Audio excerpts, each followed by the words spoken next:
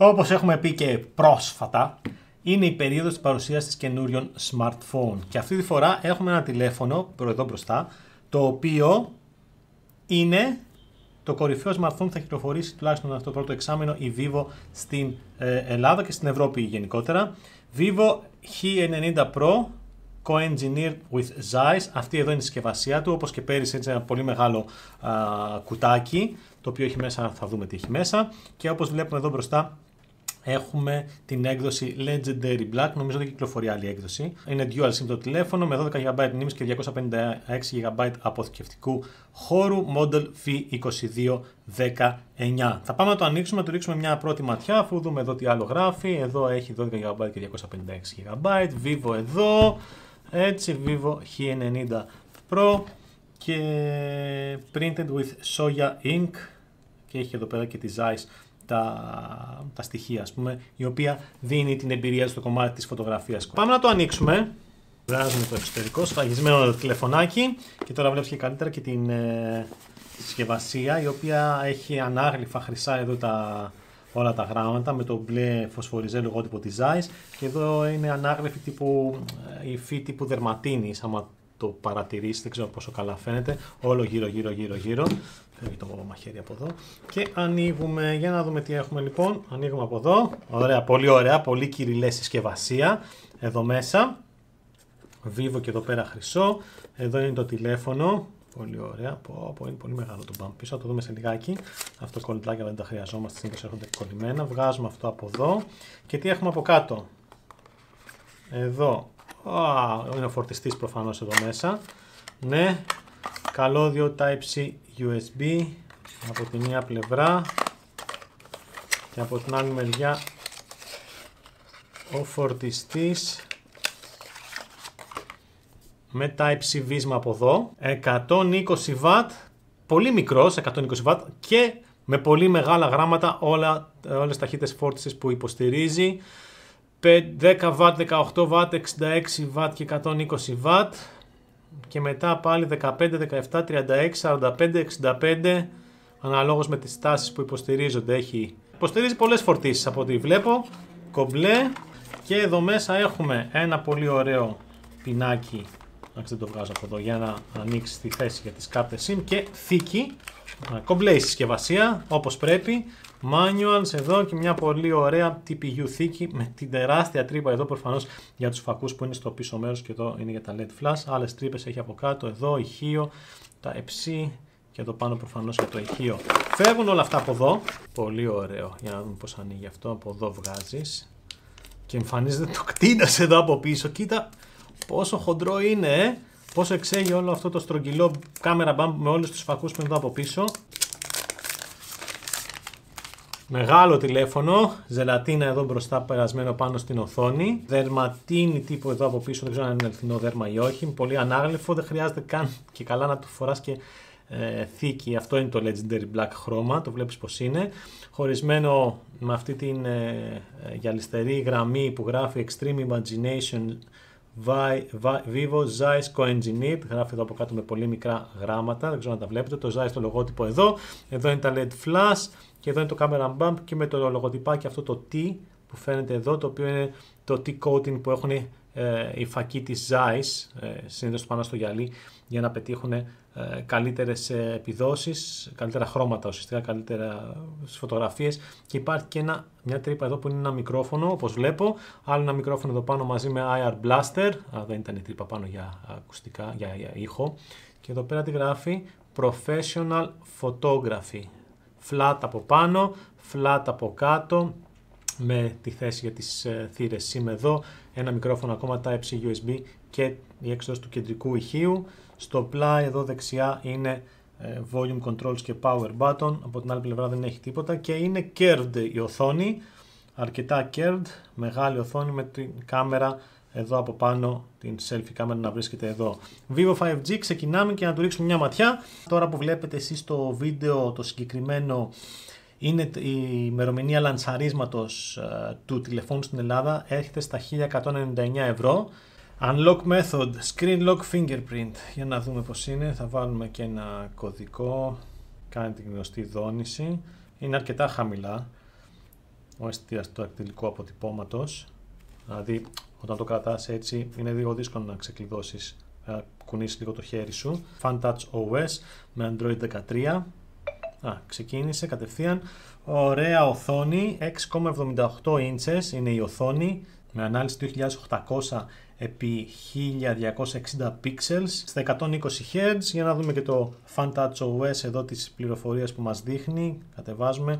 Μου είχε αρέσει και πέρυσι το FunTouch OS γιατί είναι πάρα πολύ ε, κοντά στο stock Android δεν έχει πάρα πολλά πράγματα. Λοιπόν, επεξεργαστής. Dimensity 9200 είναι στα 3,05 GHz. Είναι ουσιαστικά ο κορυφαίος επεξεργαστής της MediaTek.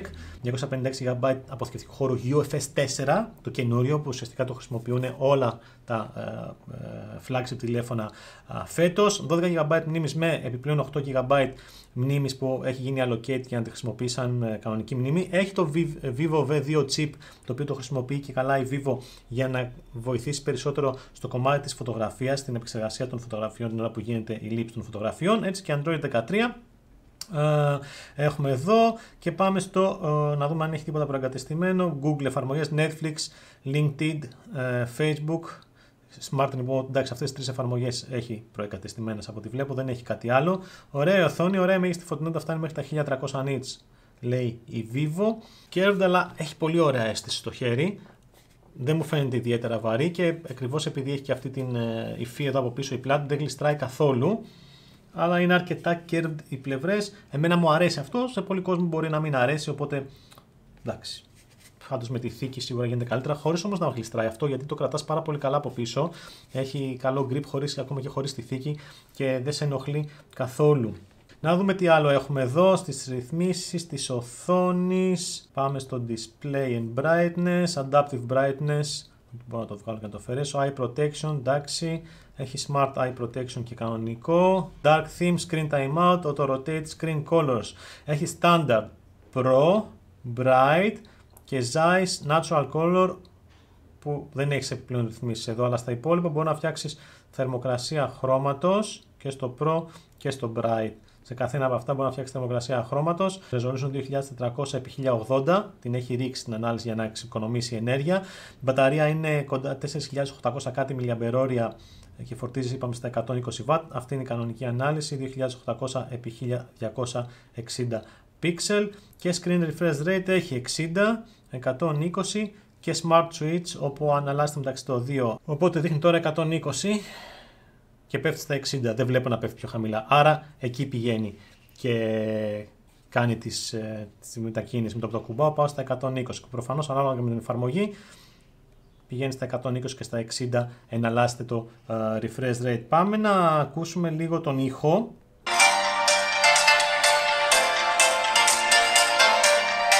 Ισορροπημένος είναι ο ήχος, παρόλο που δεν υπάρχει ξεχωριστό ηχείο εδώ από πάνω και χρησιμοποιεί το ακουστικό το οποίο είναι κάπου εδώ για να παίζει τον ήχο. Αλλά δεν μου φαίνεται να είναι πιο δυνατό από εδώ κάτω, ίσως λίγο. Καλός είναι, ωραίος ο ήχος. Και να δούμε και λίγο την οθόνη σε HDR περιεχόμενο.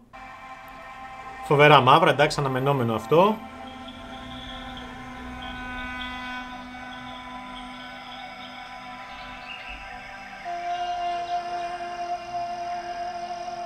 Ωραία.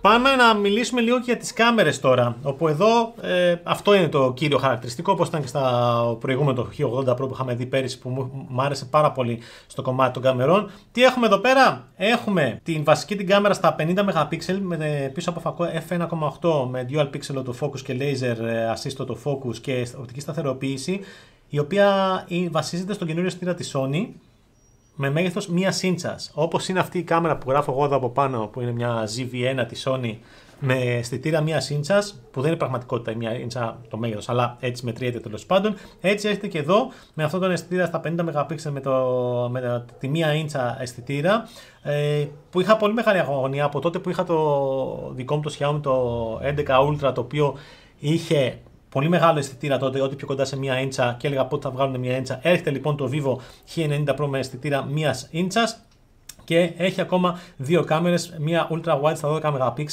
τάξη, η οποία όμως έχει autofocus και μία ακόμα telephoto με, στα 50 MP πίσω από φακό f1.6, αρκετά φωτεινός είναι η αλήθεια, με 2x όμως zoom, ο οποίος έχει και οπτική σταθεροποίηση και προφανώς και autofocus.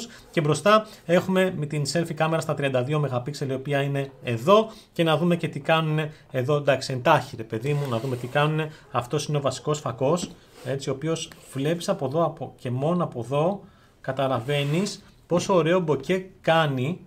Θολώνει πάρα πολύ τα πίσω και από ό,τι βλέπω εστιάζει και αρκετά κοντά. Κοίτα πόσο κοντά το έχω φέρει εγώ εδώ αυτό. Και εστιάζει πάρα πολύ κοντά για να βγάλει τις φωτογραφίες. OK, okay, αυτός είναι ο 2x zoom, ο οποίος πρέπει να πας λίγο πιο μακριά για να βγάλει φωτογραφίες. Και αυτός εδώ είναι ultra wide, που δεν μου φαίνεται να αλλάζουν. Πάντως έχει το focus. Έχει το focus, φαίνεται εδώ ότι έχει το focus, αλλάζει η εστίαση. Πάρα πολλά φίλτρα εδώ για να χρησιμοποιήσεις, εντάξει, αλλά το βασικό είναι στις κάμερες ότι πηγαίνεις στο Zeiss, αν θα έχεις natural color ενεργοποιημένο ή απενεργοποιημένο με το που το πατάς, ενεργοποιείται Zeiss Natural Color και ουσιαστικά χρησιμοποιεί τον, τον αλγόριθμο για να βάλει ε, χρώματα τα οποία αντιστοιχούν το Color Science της Zeiss. Υπάρχει και ε, Super Macro Auto το οποίο λογικά χρησιμοποιεί τον Ultra Wide, ναι, με τον Ultra Wide είναι το μάκρο. Ε, portrait, εντάξει, Professional Portraits, όπου έχεις και ε, Night Mode, άμα θες στο Portrait Mode να το ενεργοποιήσεις και να το απενεργοποιήσεις. HD Portrait Auto, ε, με ένα EP και δύο EP. Και Styles, πάρα πολλά.